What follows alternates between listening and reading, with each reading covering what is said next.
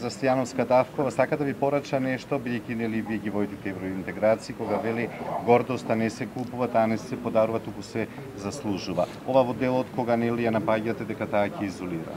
Демагогијата не се крие долго време, јас тоа би порачал, и дека со тек на време нејзината демагогија само испливува на површина. Тие празни зборови што до сега ги кажуваше околу нејзината определба за Европска Унија имаше време како пратеник да ги докаже многу пати на дело. И јас сум сигурен дека граѓаните видоа кој е за блокирање, кој е за напред, видоа дека нашата влада и покрај сите проблеми и пропусти го зададе вистинскиот правец на државата, а тоа е членството во Европската Унија.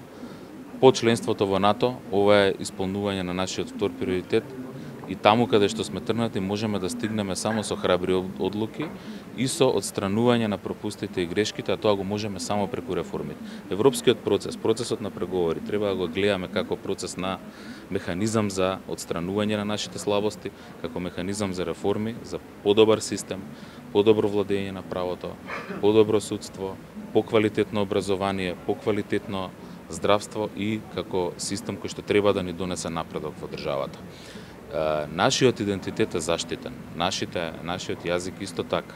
Ние немаме од што да се плашиме во тој процес, имаат од што да се плашат оние кои што сакаат статус кои кои што не сакаат ништо да се промени во државата. Дел од нив е и господјата Гордана Силјановска Давкова. Затоа сум сигурен дека на престојните избори победата на председателот Пендаровски на коалицијата за Европски е сигурна, гарантирана и ќе не носи напред.